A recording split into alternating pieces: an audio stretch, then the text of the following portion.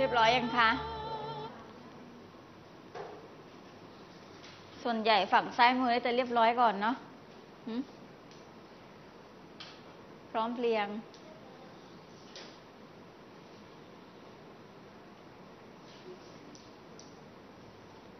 อย่างในสมุดนะคะ ที่นักเรียนส่งคุณครูมา นักเรียนดูด้วยนะคะ ทั้ง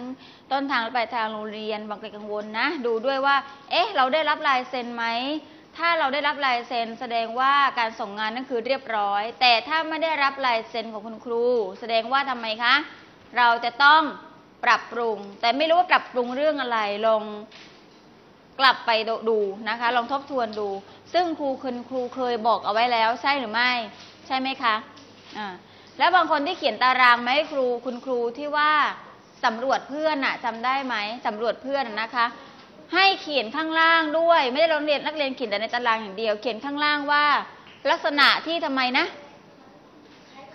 คล้ายลักษณะของเพื่อนที่คล้ายกับฉันมากที่สุดคือใครนะคะเออ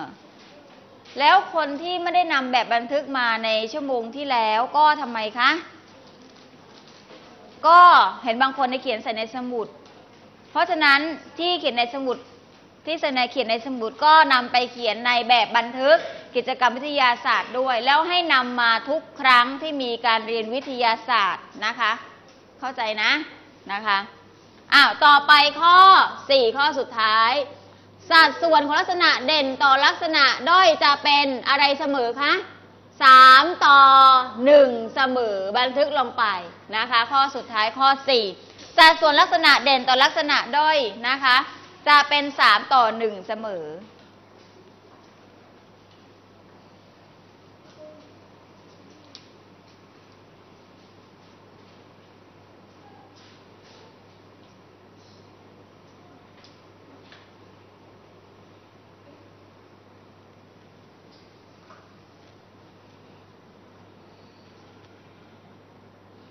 วันนี้พอจะเข้าใจในเรื่องของการถ่ายทอดพันธุกรรมไหมคะ พอจะเข้าใจไหม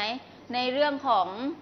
การถ่ายทอดทางพันธุกรรมก็คืออะไรนักเรียนต้องทราบว่าคือ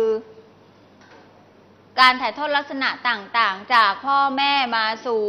ลูกนะคะ ไม่ว่าจะเป็นเป็นอะไรคะ เป็นมนุษย์ เป็นสัตว์หรือพืชก็ได้รับการถ่ายทอดทางพันธุกรรมทั้งสิ้นรวมทั้งใครที่เป็นบิดาแห่งพันธุศาสตร์นะคะ ใครคะ เมนเดลใช่ไหมคะ เมนเดล แล้วก็ได้สรุปกฎต่างๆ เอาไว้ดังนี้ฮะกี่ข้อสี่ข้อ เรียบร้อยหรือยัง เรียบร้อยหรือยังคะ เรียบร้อยแล้วนะ ผ่านได้แล้วนะคะ อ่า ต่อไปทดสอบ การถ่ายทอดทางพันธุกรรม5ข้อค่ะ ทดสอบ5ข้อ เพิ่งผ่านไปเมื่อตะกี้เนี่ยนะคะจำได้ไหม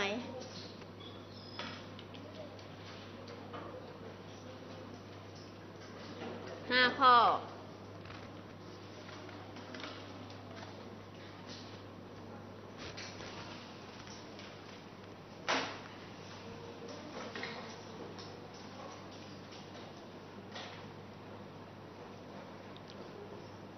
เตรียมตัวเรียบร้อยยังคะ เตรียมตัวเรียบร้อยหรือยัง เรียบร้อยแล้วนะ ต่อไปข้อหนึ่งแล้วนะคะ พร้อมนะ ข้อหนึ่ง หน่วยทางพันธุกรรมที่ใช้ถ่ายทอดลักษณะต่างๆ อยู่ในส่วนใด หน่วยทางพันธุกรรมที่ใช้ถ่ายทอดลักษณะต่างๆ อยู่ในส่วนใด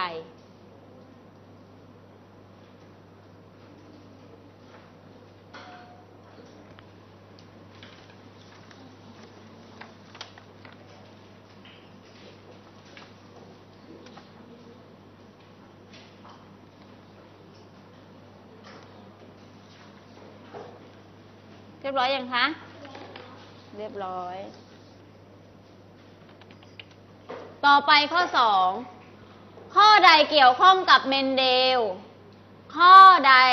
เกี่ยวข้องกับเมนเดล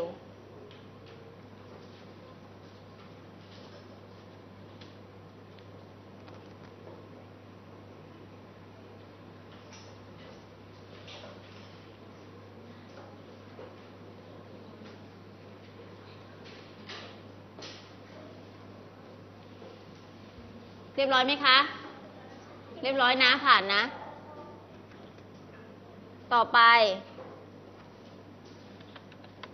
ข้อ 3 การทดลองเรื่องพันธุกรรมของเมนเดลใช้สิ่งใดในการทดลอง การทดลองเรื่องพันธุกรรมของเมนเดล ใช้สิ่งใดในการทดลอง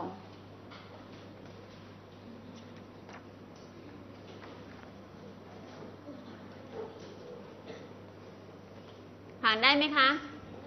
ผ่านแล้วนะ ต่อไปข้อสี่ใครมีโอกาสห่อลิ้นได้เหมือนพ่อ ใครมีโอกาสห่อลิ้นได้เหมือนพ่อ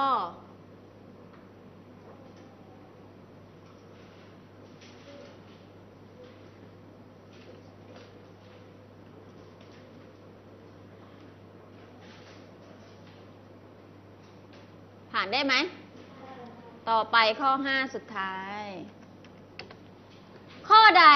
ไม่ใช่ลักษณะที่ถ่ายทอดลักษณะทางพันธุกรรม ข้อใดไม่ใช่ลักษณะที่ถ่ายทอดทางพันธุกรรม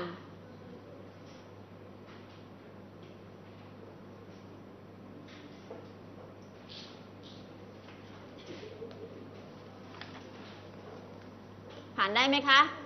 เรียบร้อยไหม อ่าเรียบร้อยเตรียมตัวตรวจค่ะ ตรวจเอง ซื่อสัตย์ในตัวเองด้วยนะ ใช้ปากกาแดงนะคะ ยากไหม ไม่ยากนะห้าข้อเพิ่งผ่านนะคะ ข้อหนึ่งหน่วยพันธุกรรมเราเรียกว่าอะไรคะ เรียกว่าอะไรเอ่ย ยีนนะคะ ยีน มีใครผิดบ้างข้อนี้ มีไหมไม่มีเนาะนะคะ ต่อไปข้อสองข้อใดเกี่ยวข้องกับเมนเดล ข้อใดคะ อ่า เป็นบิดาแห่งอะไร พันธุศาสตร์นะคะเพิ่งผ่านมาเมื่อสักครู่ ต่อไปข้อ3การทดลองเรื่องพันธุกรรมของเมนเดลใช้สิ่งใดคะในการทดลอง มีใครตอบลิงตอบหนูไหมมีไหมคะ ใช้ถั่วลันเตานะคะ ต่อไปข้อ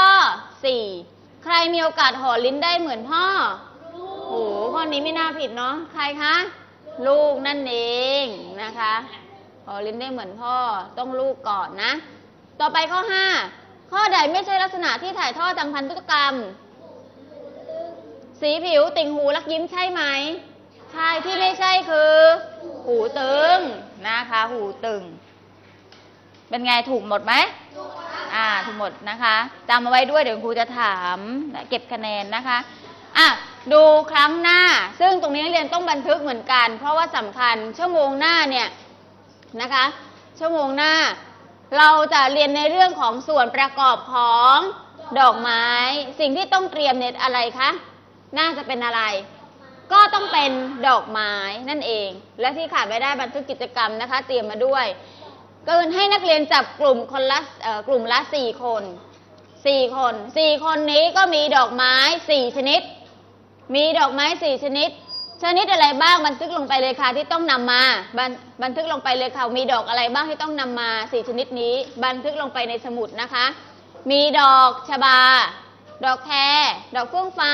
ดอกอัญชัน บันทึกลงไปดอกไม้สี่ดอกที่ต้องเตรียมมานะคะ ดอกไม้สี่ดอกที่ต้องเตรียมมานะ ก็สี่คนก็คนละดอกนะคะ คนละดอก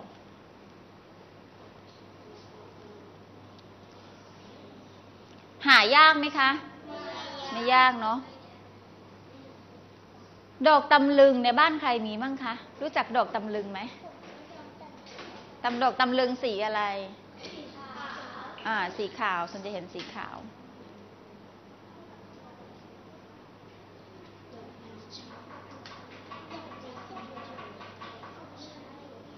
อ่าเรียบร้อยไหมคะ